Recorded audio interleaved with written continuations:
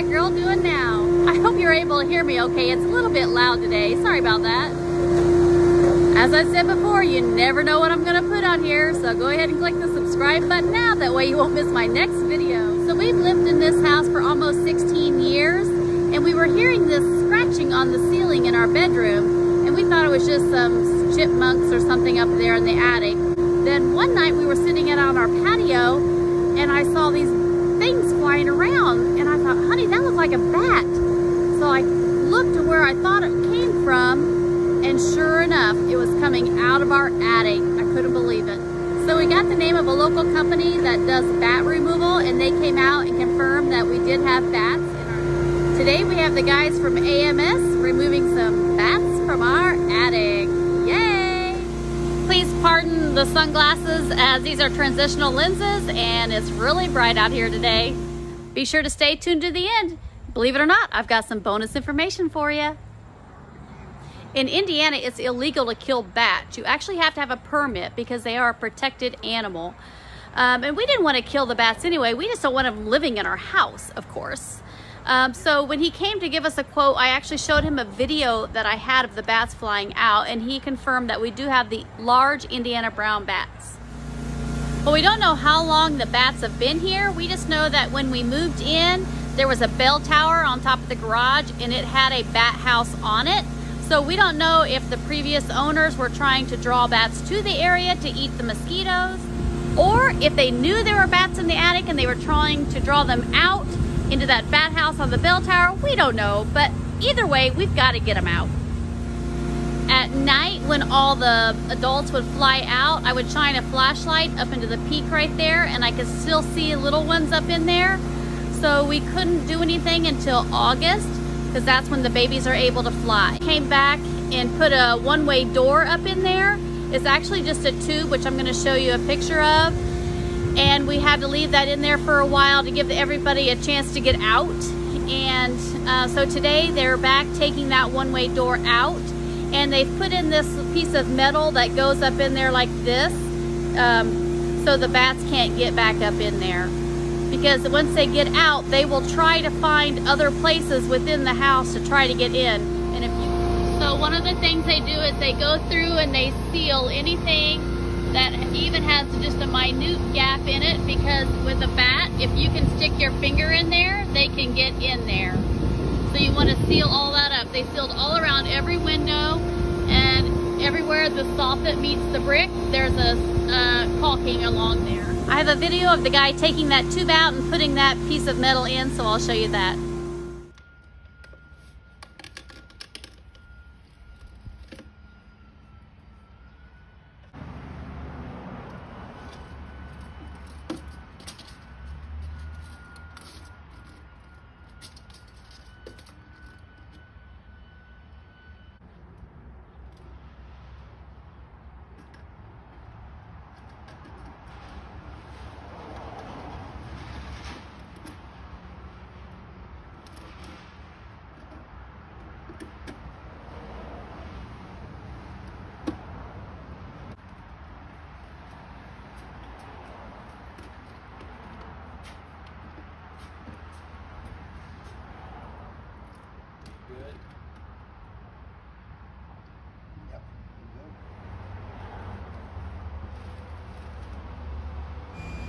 This guy is going inside to get started on cleaning out the old insulation and the guano.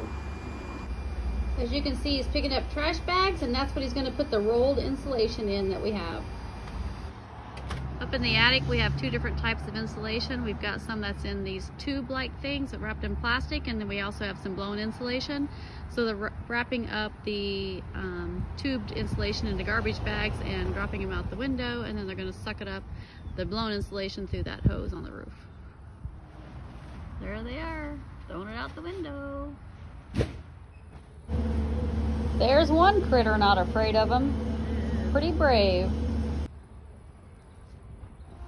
You can see the hose going in the roof vent up there. They're sucking it out right now. That's how they'll flow in the new insulation as well.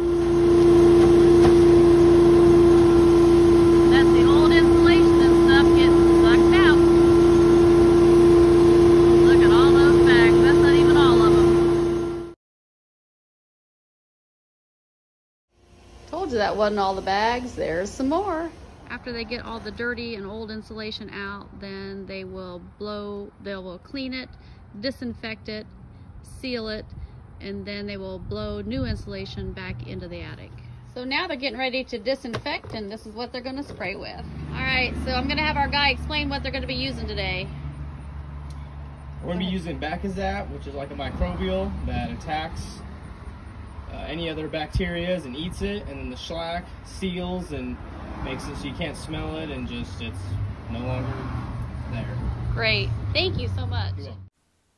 This picture is after he has completed the antimicrobial spray and the shellac. The white stuff you see is the shellac and he said that will dry clear. So he wanted to get a picture while it was still white to show it to us. And this is the insulation they're using.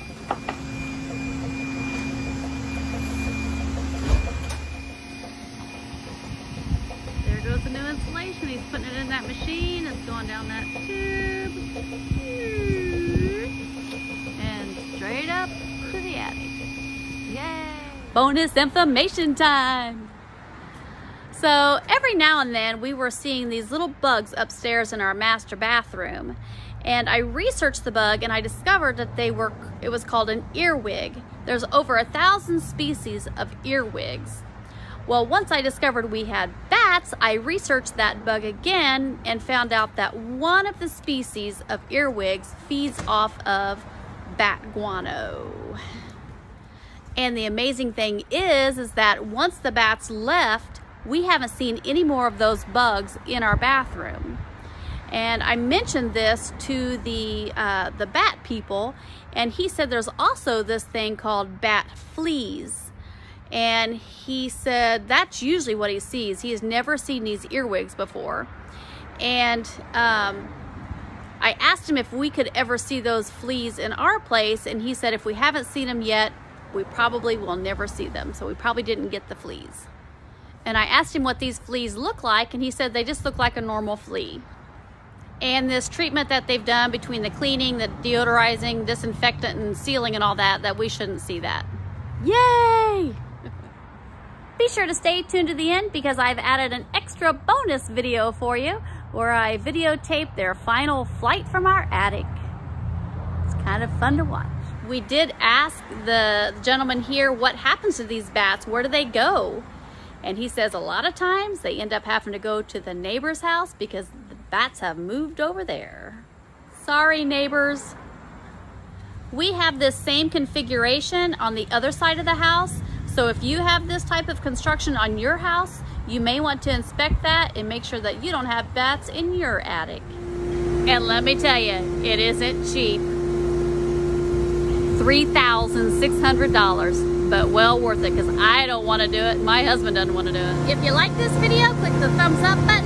Please subscribe to my channel. That way you won't miss my next new and exciting video I have coming out. Thanks for watching. See you next time. See if you can count the bats as they fly out and see how many you count. I'll let you know what I counted at the end of the video. Just want to let you know this was about a 30 minute video. So I did cut out some of the dead spots so you can just see where the bats are flying around. They did do something different this night that they hadn't done before was after they flew out of the tube, they actually flew back up to the house to check out what was going on. They knew something was different. They didn't know what it was and they were checking it out. So watch them do that activity. It's fun. And I don't know exactly how many bats we had as it was getting dark and hard to see. So we just turned it off.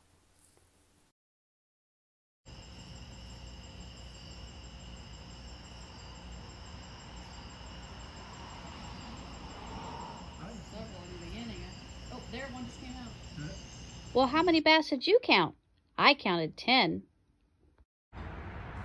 Thanks for watching. See you next time.